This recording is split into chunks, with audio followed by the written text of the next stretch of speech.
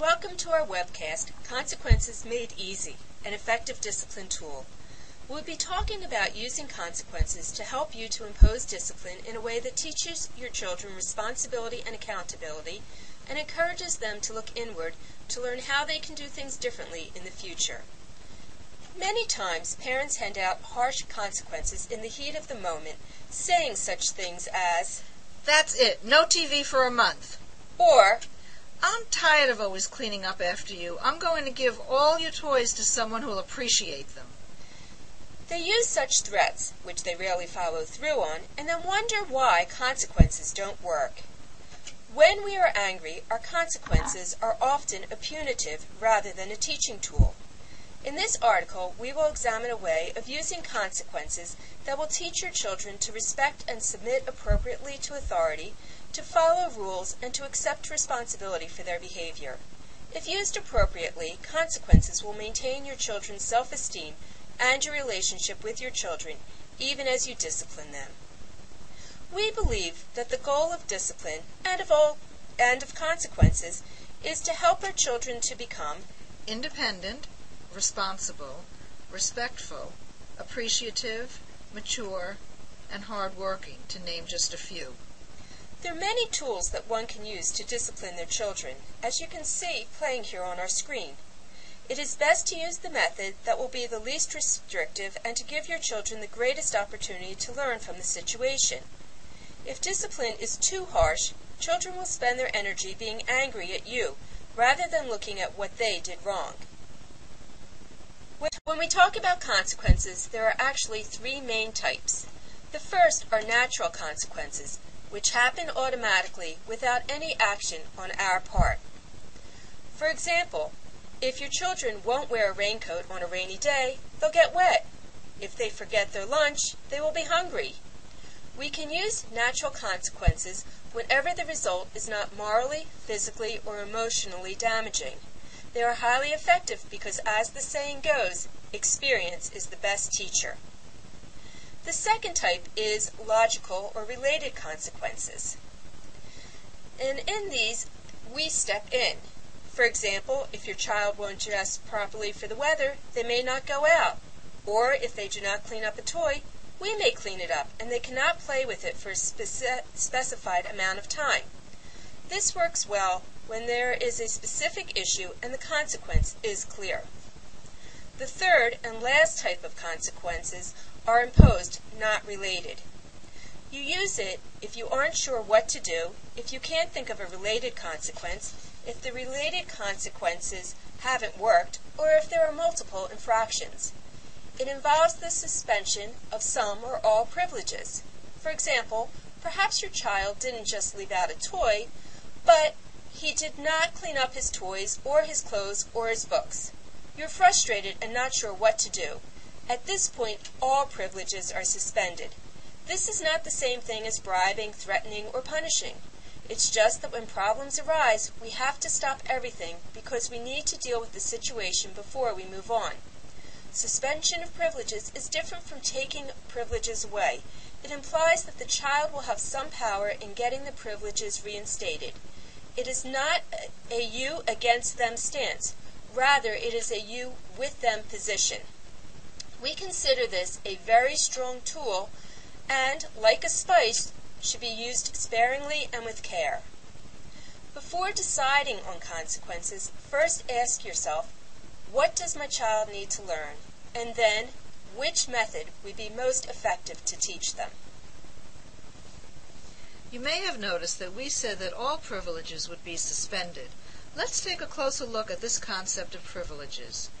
Your relationship with your children can be categorized as including parental obligations, where you absolutely must give your children, such as basic nutritious food, proper medical care, school attendance, and respect. Privileges, on the other hand, are what you choose to give to your children, such as special foods that meet their preferences, outings, sports, and activities. Sometimes we get so caught up giving to our children that we miss what power we have.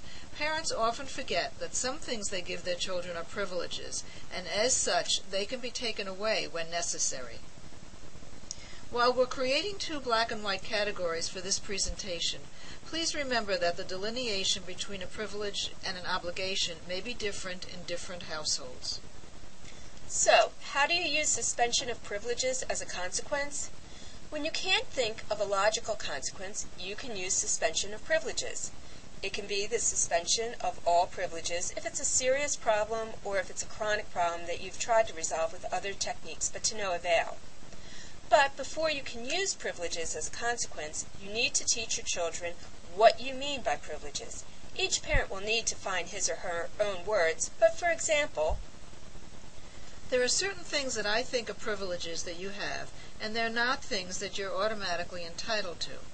It's my pleasure to let you have and do these things, but when you behave in a way that goes against our family rules, then I'm going to suspend those privileges until we resolve the problem. You'll need to let your children know what the privileges are. You can brainstorm with them or present them a list, depending on their age and maturity level. The second part of consequences involves how children get out of trouble. As we have seen, the parent has the power to suspend the privileges, and as we will discuss, the child can decide when the privileges are reinstated by behaving in a way and by making amends. Under these terms, the child is given the power to rectify the situation. If the consequence is lifted according to a certain amount of time that's set by the parents, there is less learning and the child has less power. If the child has to do certain things, such as go through a guided process with you and make amends to have the consequences met or lifted, there is more learning that occurs and the child has more power, and we believe that the latter is more helpful. To earn back privileges, it's not merely a matter of time, but having the child go through more or less of a formal process to enhance the learning. The following are a list of the issues that need to be addressed. The first are the facts. The details of the situation, the who, what, where, and when. Next, opinions. What were they thinking or feeling? Why did it get them in trouble? Next is to create an action plan.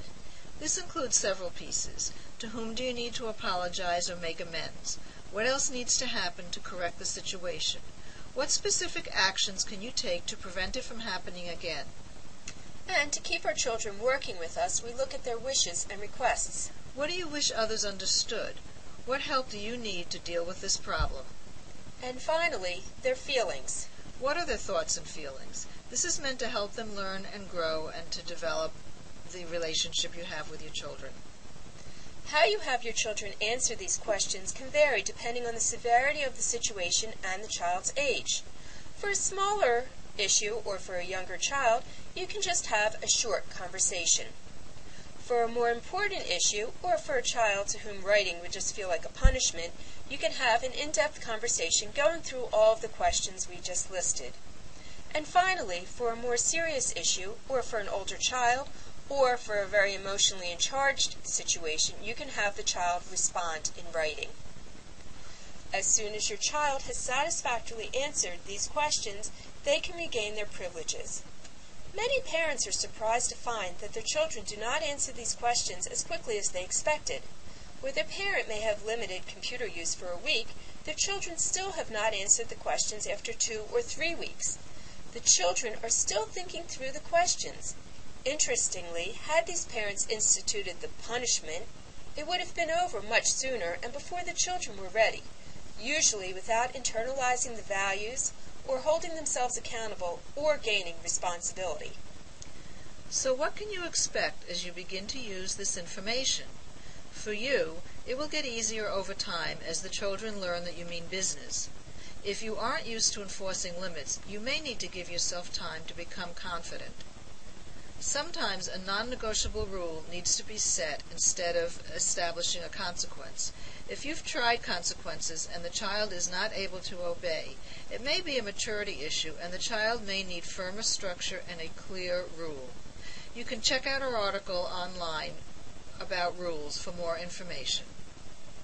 From your children, you can expect that some children will appreciate the clarity and respond well to the use of consequences in this way.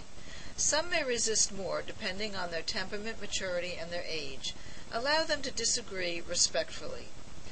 Which brings us to our final point. What to do if children resist disrespectfully. You can allow them to resist and complain, but if it becomes disrespectful, then you may need to impose another consequence.